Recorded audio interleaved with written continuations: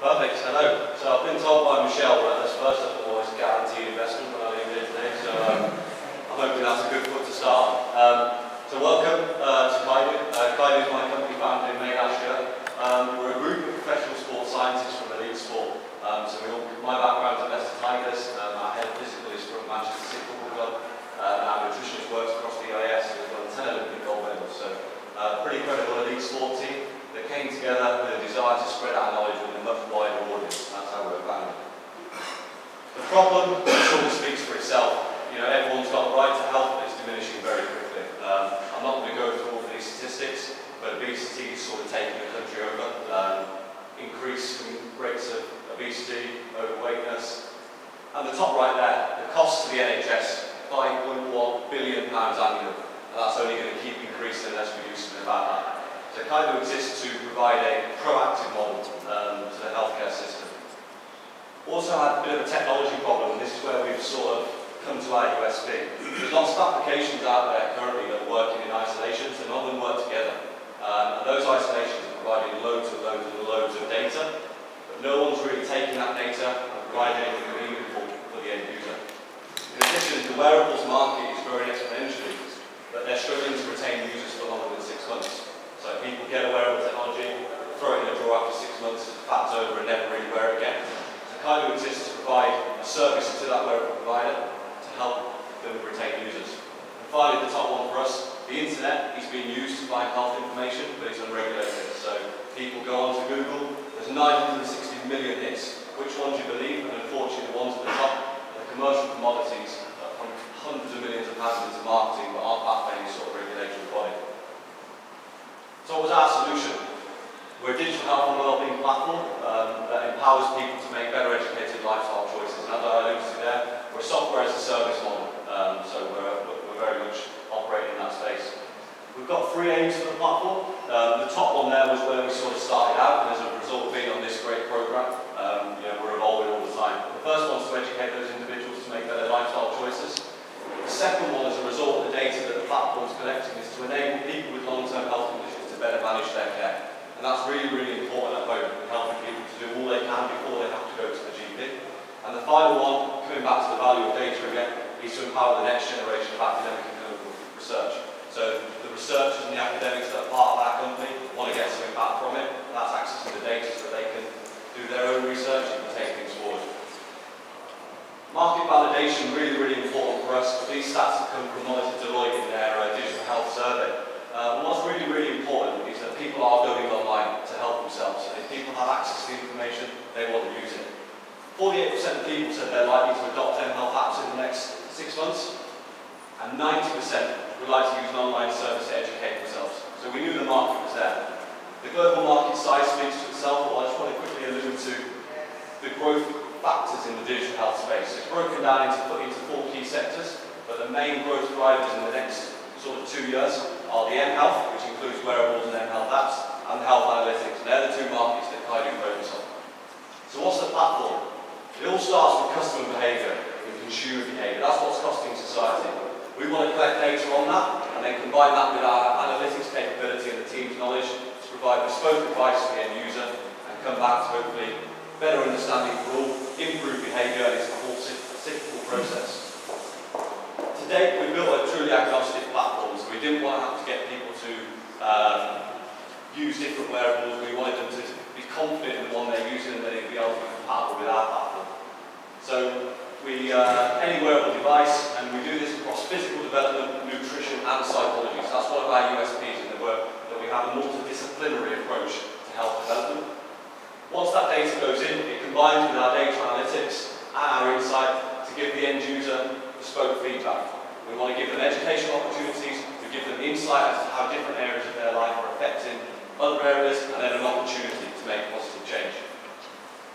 Where have we, got, where have we been and you know, where are we going to? We were founded in May last year, um, raised seed investment of £90,000 in September uh, of last year, moved into Serendip in April, and then most recently raised match funding from Creative England on that 90,000 in, in May. Just now completed our data aggregation platform, and we're about to start um, a research trial, um, which, is, which is where I want ask for support from some of you guys today. Um, we're all about adding value to the company in terms of the data that we have on it, so we can go into our artificial intelligence and our, and our analytics phase, which is where the clever bit sort of comes in. At the moment, we're working to establish a number of academic and clinical partners, which are really important from us from a credibility perspective. And then we've got a, a trial lined up with Castle Vale community, so inner Birmingham, for October this year. Very deprived population, but a really important test bed for us to test the platform and get some really good feedback.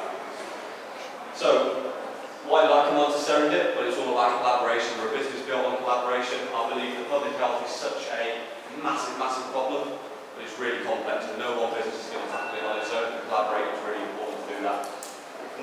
Midlands Health, which are, which are our direct partners, it was all about gaining insight and understanding of healthcare problems. I didn't want to create a product whether there was no problem for it to fix.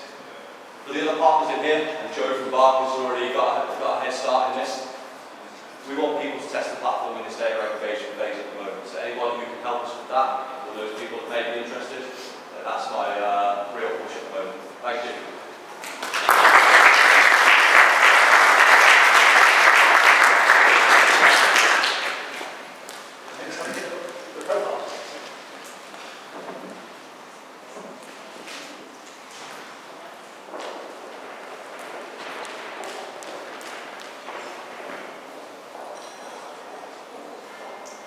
Um, Hi there. Uh, I've been asked to talk to you today about uh, a particular problem and what our solution is to that problem. And I think the best way of doing this is by way of a short story. It's one you'll be familiar with, but maybe not one or two of the finer details. So just over 3,000 years ago, uh, Moses descended from Mount Sinai, carrying a couple of heavy stone tablets under his arms. And there was a waiting crowd, and he, he say unto the crowd, I've spoken to God, and he's given me ten new commandments by which we're all expected to live our lives by. Kind of listening intently while Moses was ceasing to tell them about these ten rules. However, there's one guy at the back, and he's not so sure. He turns to his friend and says, Do you notice that? Is that really Moses? And it's been like, what, 40 days, 40 nights? It just doesn't look like the guy that, that went up the mountain. And if that's not Moses, is that really the word of God written down on those tablets? And what was that last thing? Do the thy name as oxen. What, what does that? So there we have the first recorded example of the need for profiling. Is Moses who he claims to be? Is that really the word of God? Are those documents genuine? And do not the thy name as oxen. We saw two of those three problems. So we have a world first in cloud-based automated identity assurance. So we know the enterprise uses to make faster, better, more informed go or no-go decisions about their people, their customers and. Now this isn't just a piece of vaporware. Following a quarter of a million pound seed investment, um, we was able to approach one of the UK's largest independent construction firms. They recently won a job which requires a high level of vetting for their 20,000 strong workforce.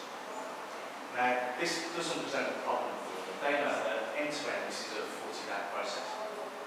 Following a successful trial of our solution earlier this year, they were able to reduce this time frame just 13 minutes. It's not just about saving time. We're fairly experienced in adult education. Now, it may surprise you to find that last year, UK government spent 18 billion pounds funding adult education programs. You may be more surprised and possibly even horrified to find that of that 18 billion pounds, 40% of it was lost to fraud.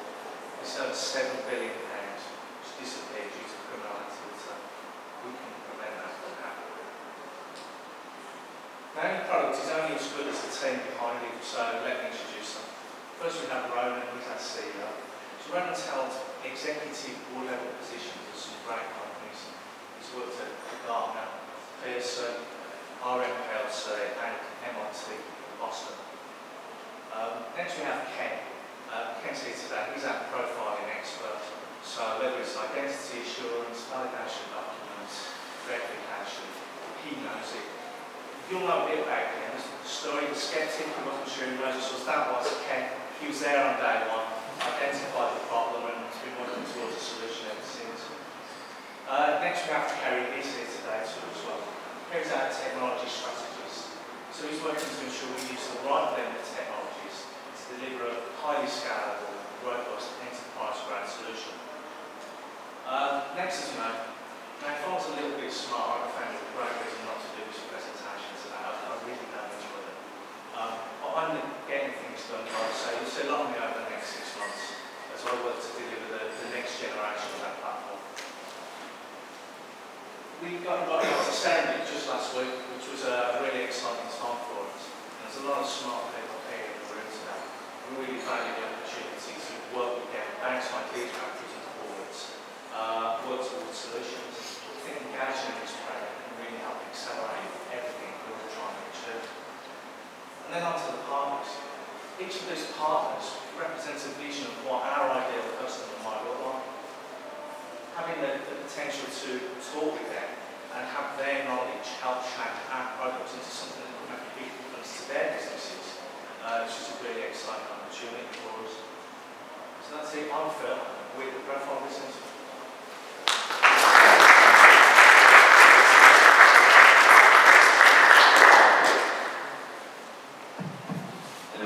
Uh, Hi, my name is Charlie. I'm the CEO and founder of Screen Pictures. If I sound a little bit off the ball today, I have been bedridden for the last um, two days, so I'm kind of glad just to made it here. um, so, Screen Pictures specializes in making and distributing entertainment programs, exclusively for smartphones and tablets. Uh, why? Uh, more on that in a second, but generally we live in a world where the world of digital advertising is broken and uh, we actually also live in a world where there's a lot of fragmentation in the kind of platforms that people can engage with brands and their favorite TV shows. So the mobile isn't actually treated as an entertainment platform in instead of right. So things that I'll talk about today, the usual fashion, the problem with advertising and the second screen.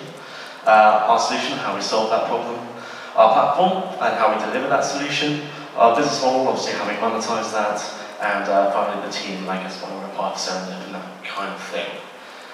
Uh, so the problem with advertising, as I just talked about, we live in a world uh, where the world of digital advertising is broken. We've all been searching the web and delivered video ads or banner advertisements uh, on various websites uh, that aren't relevant to us. We know we've all been on YouTube and we've all had that pre-roll advert that we can't skip. This has obviously seen a rise in ad blocking. Uh, so much so that mobile operators like Three are actually bringing out uh, ad blocking software onto their networks as standard. So it's quite clear that brands need to speak to their customers in new ways. Uh, as we've also been uh, talking to potential clients, um, they're also having a lot of trouble reaching out to their customers through the various channels that are out there, whether that's YouTube, whether that's Facebook or Twitter, streaming live or with uh, on-demand content.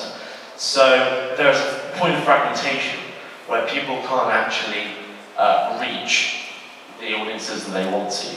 And we believe that that's through one platform and entertainment content that's opt-in, uh, as opposed to being an advert that's delivered out to you without your consent.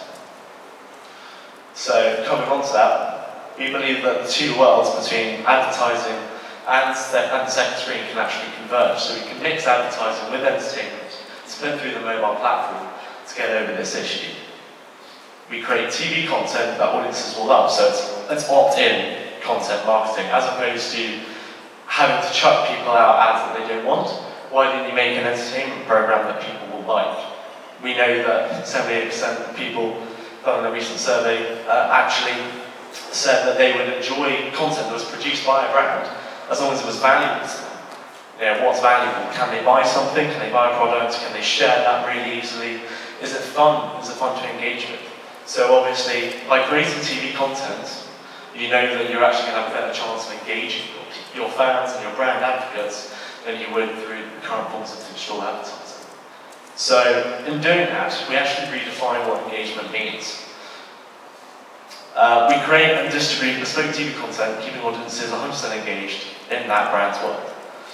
So we've actually built a platform that has a few USPs. Uh, social video player and e-commerce. Um, so through our platform, a problem we've had is obviously if you're streaming something live through BBC iPlayer or something, and they're saying, why didn't you tweet us? If you're on the go, you actually have, you want to tweet them, you have to leave the mobile platform, go into Twitter, find the account, type something out. And then once you've actually done all that, you go back to the iPlayer app, or whatever uh, platform it is, and you've actually missed about five minutes of the show. For us, we can actually do put all that social integration in app So you can share live, even with the live stream, once you come back to the platform, you haven't missed a beat. Um, video player, that ties into our video player USP, in that even if you leave the app and you go off then you have press onto hotspots you go and watch more content on YouTube and affiliate marketing sites and so on, you always come back to the entertainment content. So that's the focal point of it. Um, and also finally, our e-commerce options. We have uh, hotspots to be put through our content that will enable people, let's say if you're watching a music show, they can buy tickets to that next concert, or if they're watching a travel show, they can buy their next ticket to um, their next holiday. So all, in-app, all encouraging engagement and impulse purchases. So we have three ways of monetization. Um, our production premium, very standard, 10% off production. CPTM, which is quite exciting, this is entirely new for the advertising industry. It's called cost per thousand minutes. And that means instead of having a marketing budget that says we'll charge X amount of money for X amount of eyeballs, we say only pay us if we get the eyeballs. Yeah? Only, get, only pay us if we get enough people